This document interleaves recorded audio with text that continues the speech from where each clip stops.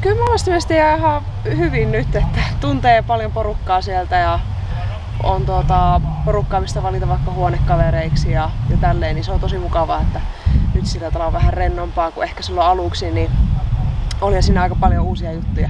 Tai oikeastaan tosi paljon uusia juttuja versus niin amatöörinä kuin sitten hot ammattilaisena. Niin kiva nyt, että on saanut niin vettää puolitoista vuotta sitä ensimmäistä kautta periaatteessa, kun oli se korona, koronahommeli. Niin.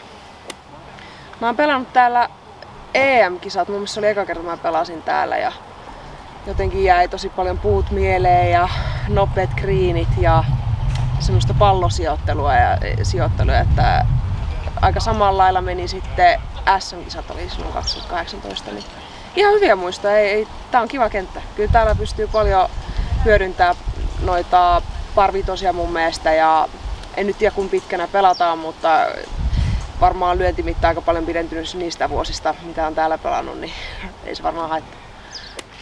No mä vähän mietin tossa, että mikä se olisi sopiva tavoite ja eihän sitä kannata lähteä kissa, jos ei ajattele, että pystyy voittaa.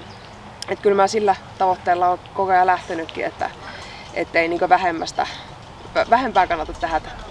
Sama juttu täällä Aurassa, niin ehkä silleen kun on kotona ja on varmaan katsomaa ja, ja tälleen, että on, on Suomessa ja, ja vähän semmoiset omat jujut täällä, niin olisi, olisi kiva, jos pystyisi voittamaan täällä.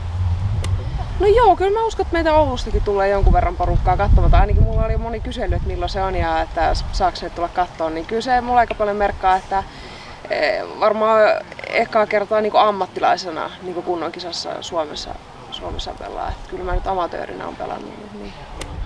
No tosi kiva, että nyt on tosi harmi, kun on ollut tota, niitä koronakuplia, että me saa olla vaan niin kaksi ja sitten jos on kädit, niin, mutta ei sen niin kaksi pelaajaa se maksimi, niin, niin tota, kyllä me nyt yritetään aina sitten lounaita ja dinnereitä silleen, että ollaan nyt no, kolmen metrin päässä pöydissä, mutta, mutta siis silleen on niin tosi iso tuki ollut, että ei tunnu oleva niin yksi siellä, vaikka, vaikka onhan tämä yksinäistä hommaa sinänsä.